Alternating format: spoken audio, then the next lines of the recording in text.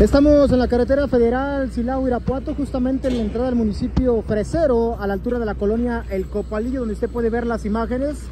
Eh, este camión, de acuerdo a los datos que hemos recabado, este camión estaba prácticamente nuevecito.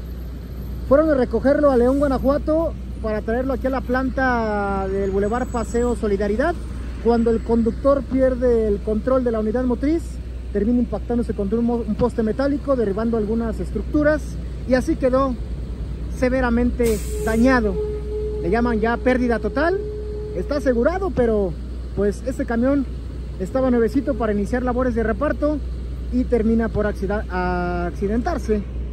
El conductor nos comentan que solamente resultó con algunas abrasiones, ya personal de la Guardia Nacional División Caminos trabajando en el lugar, desviando la circulación y por supuesto también personal de esta empresa de grúas aquí en el municipio de Irapuato van a remolcarlo para llevarlo pues al lugar que le corresponde, que en este caso será una pensión. Gracias por conectarse a través de este canal de YouTube de Enlace News desde el municipio de Irapuato, Guanajuato.